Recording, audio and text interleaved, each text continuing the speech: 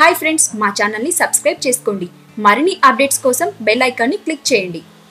Hi friends welcome to my channel get ready. సంక్రాంతికి విడుదలైన ఎన్టీఆర్ కథానాయకుడు ఎఫ్ టూ చిత్రాలు నెల తిరక్కముందే ఆన్లైన్ స్ట్రీమింగ్ ప్లాట్ఫామ్ అమెజాన్ ప్రైమ్లోకి అందుబాటులోకి వచ్చేసాయి థియేటర్లలో ఈ చిత్రాలను మిస్ అయిన చాలామంది ఆన్లైన్లో చూసేశారు. అయితే సంక్రాంతికి విడుదలైన మరో చిత్రం వినే విధేయరామ. హక్కులు కూడా అమెజాన్ ప్రైమ్ సొంతం చేసుకున్నప్పటికీ దాన్ని ఇంకా ఆన్లైన్లో అందుబాటులోకి తెలియదు అందుకు కారణం చిత్ర నిర్మాతలతో కుదుర్చుకున్న ఒప్పందమేనట. రామ్ చరణ్ కీర్ అద్వానీ హీరో హీరోయిన్లుగా రూపొందిన ఈ మూవీ బాక్స్ ఆఫీస్ వద్ద యాభై రోజులు పూర్తి చేసుకున్న తర్వాతే ఆన్లైన్లో రిలీజ్ చేసే విధంగా అగ్రిమెంట్ జరిగింది. ఈ మేరకు ఈ చిత్రాన్ని మార్చి మూడున రిలీజ్ చేసేందుకు అమెజాన్ ప్రైమ్ ప్లాన్ చేస్తుంది.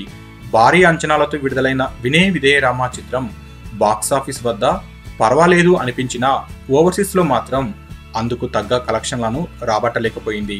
భారీ అంచనాలతో విడుదలైన వినే విధేయరామ చిత్రం బాక్సాఫీస్ వద్ద పర్వాలేదు అనిపించింది. ఇక టాక్తో సంబంధం లేకుండా ఈ చిత్రం ఇప్పటి వరకు అరవై మూడు కోట్లకు పైగా షేర్ను వసూలు చేసింది. రామ్ చరణ్ స్టామినా బాక్సాఫీస్ వద్ద మరోసారి నిరూపించింది. సినిమా పరాజయాన్ని అంగీకరిస్తూ అభిమానులకు రామ్ చరణ్ బహిరంగంగా లేఖ కూడా రాసిన విషయం అందరికీ తెలిసిందే. ఇక ఈ చిత్రం మలయాళంలోనూ తమిళ్ళోనూ డబ్బైన విషయం తెలిసిందే. అక్కడ కూడా కలెక్షన్లు బాగా వస్తున్నట్లుగా ట్రేడ్ వర్గాల సమాచారం. ప్రస్తుతం రామ్ చరణ్ ఎస్ఎస్ రాజమౌళి డైరెక్షన్లో త్రిబులార్ మూవీ చేస్తున్నారు. రాజమౌళి ఎన్టీఆర్ మల్టీ స్టారర్గా రూపొందుతున్న ఈ మూవీని డివివి దానయ్య మూడు వందల కోట్ల భారీ బడ్జెట్తో నిర్మిస్తున్న విషయం తెలిసిందే. సో ఫ్రెండ్స్ మీకు ఈ వీడియో నచ్చితే లైక్ చేయండి షేర్ చేయండి. మరిన్ని ఫిల్మ్ అప్డేట్స్ కోసం మన ఛానల్ని తప్పకుండా సబ్స్క్రైబ్ చేసుకోండి.